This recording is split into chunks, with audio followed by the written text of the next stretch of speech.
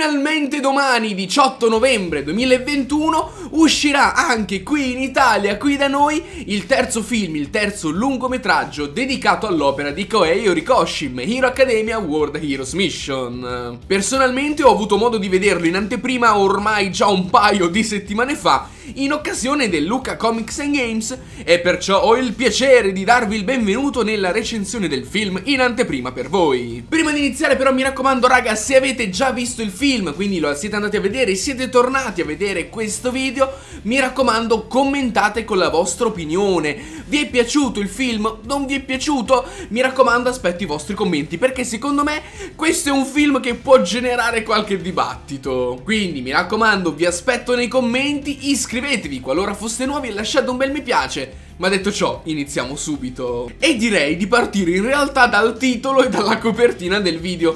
Questo film è stato totalmente deludente? La risposta è ni, né sì né no. Diciamo che, ma ne parleremo poi per bene nel corso del video, ci sono stati alcuni elementi all'interno di questa pellicola che hanno letteralmente affossato le potenzialità di quest'ultima. Una pellicola che tra l'altro ha avuto anche un grandissimo impatto sulla quinta stagione. Ne abbiamo anche parlato nel video di lunedì, quindi qualora ve lo foste perso andatelo subito a recuperare. Quindi insomma un film che poteva veramente dare di più. Ne parleremo quindi per benino, soprattutto nella sezione dedicata ai punti negativi del film, facendo ovviamente quasi zero spoiler, o comunque formulando le frasi in modo tale che solo chi ha capito il film può capire, quindi tranquilli questa recensione non ha spoiler. Dunque la pellicola, come sapete alla fine se avete visto i trailer, si incentra sulle vicende che accadono diciamo a Deku, Bakugo e Shoto in primis,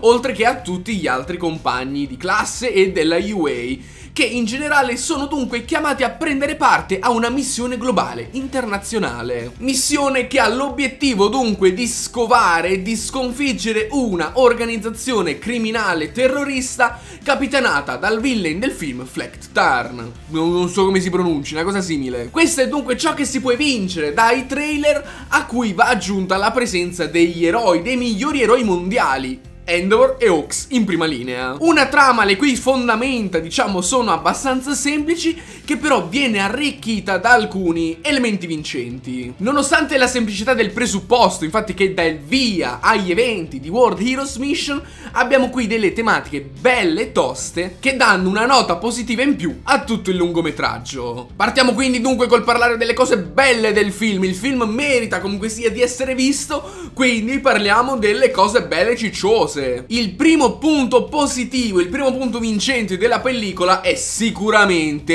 il comparto tecnico. Le host sono perfette e riescono, assieme agli eventi che vediamo a schermo, a farti comunque sia empatizzare con ciò che sta accadendo. Ma Hero Academia e Demon Slayer in questo sono eccezionali, che si parli di film o che si parli di serie televisiva animata veramente le host fanno il loro lavorone incredibile. Senza poi parlare delle animazioni che sono tutto sommato diciamo buone per tutto il corso della pellicola ma che raggiungono dei picchi assurdi nelle scene ovviamente di azione clou. E qui raga hanno introdotto degli espedienti tecnici che io ho amato. Ci sono intere scene realizzate in piano sequenza. Il piano sequenza per chi non fosse diciamo consono o comunque come si dice abituato a questi termini sono praticamente riprese senza stacchi. Sono intere scene senza tagli tra una una scena e l'altra praticamente. Un esempio può essere l'intero film di 1917, che sembra essere stato girato con un'unica ripresa, una carrellata continua.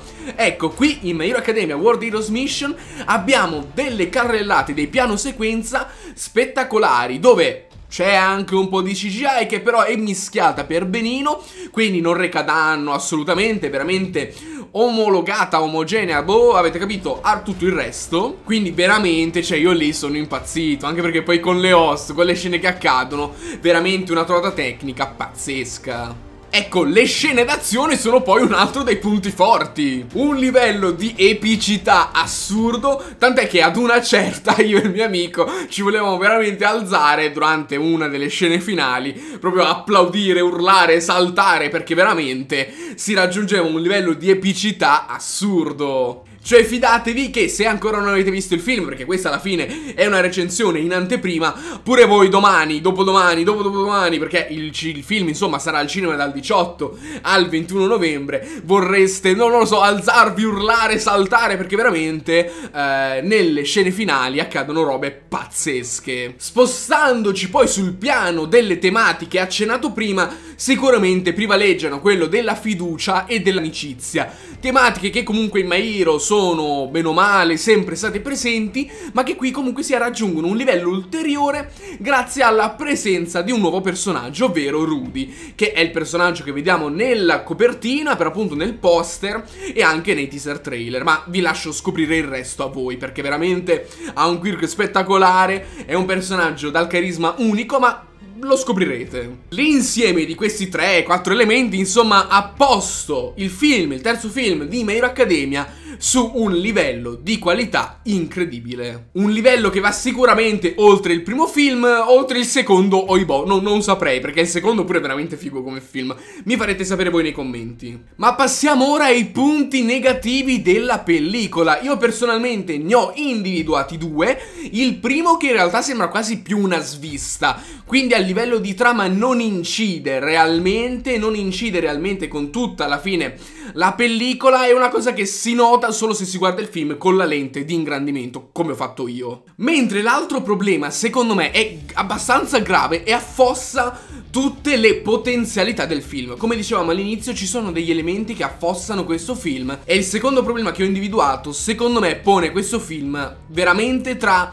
Boh, non lo so, la monotonia dei film anime la chiamerei, la, chiamiamola così. Cioè veramente questo elemento potrebbe porlo anche al di sotto del primo film, per livello proprio di impatto mediatico, chiamiamolo così. Partiamo dunque dal primo problema che per me è rappresentato, un problema minore, rappresentato dal siero. Noi nella quinta stagione abbiamo avuto un intero episodio filler incentrato su questo siero potenzia quirk generato, elaborato, diciamo così, eh, uh, dal villain Flecht Tarn, che per l'appunto era un pericolo globale, di scala globale, perché poteva generare un casino, eccetera e poi nel film questo elemento è usato letteralmente due o tre volte. Cioè abbiamo avuto quindi un caricamento di hype con questo siero, con questo nemico, eccetera, per poi nel film vedere questo siero veramente essere snobbato, quando invece il suo diverso utilizzo poteva veramente apportare quel qualcosa in più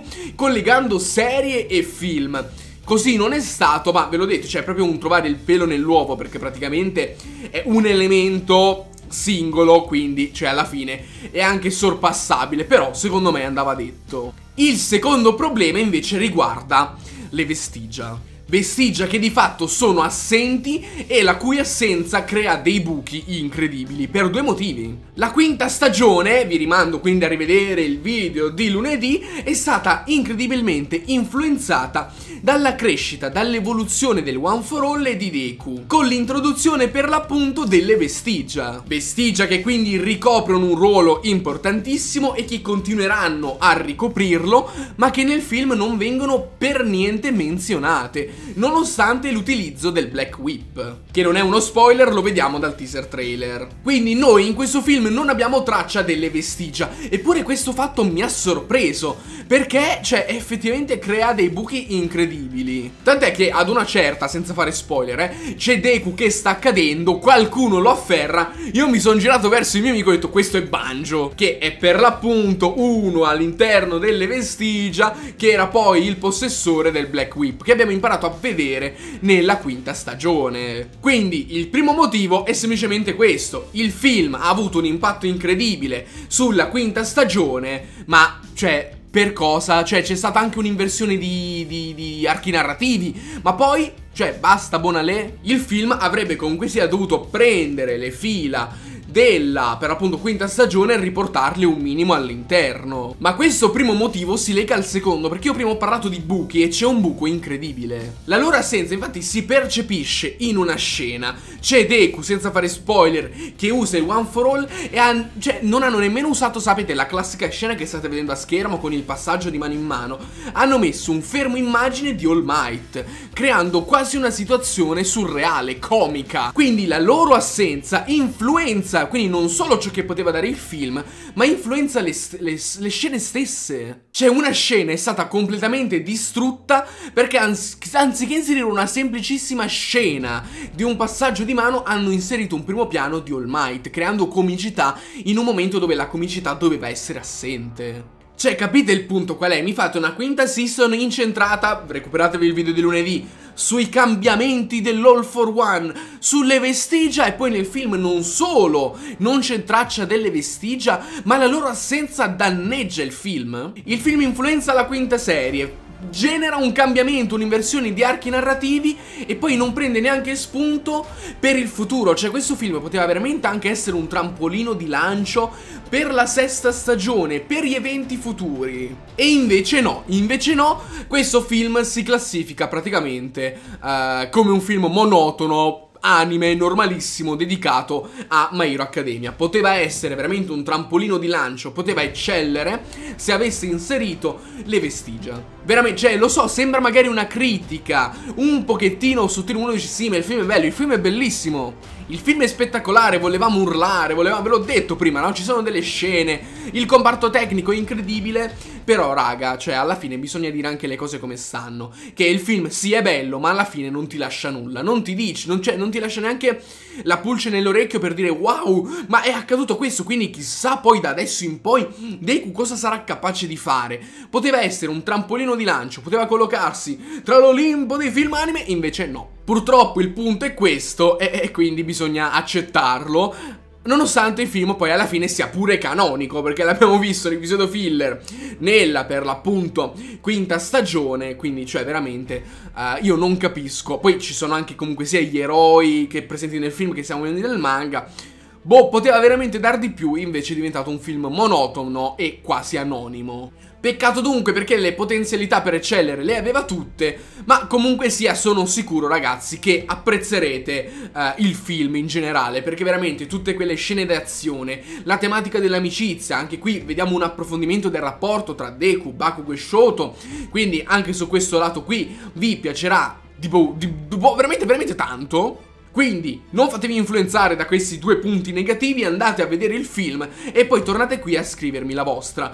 Io per dovere di, eh, insomma, di onestà, ecco, cioè vi ho dovuto dire le cose come stanno. Il film poteva eccellere e invece non l'ha fatto. Detto ciò io spero che questa recensione non sia venuta troppo lunga, ma soprattutto che vi sia piaciuta. Aspetto i vostri commenti raga e niente, siccome penso che sia durato già troppo, noi ci vediamo come sempre alla prossima. Recuperate il video di lunedì.